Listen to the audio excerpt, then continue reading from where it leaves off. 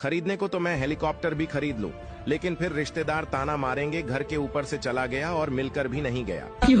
खरीदने को तो मैं हेलीकॉप्टर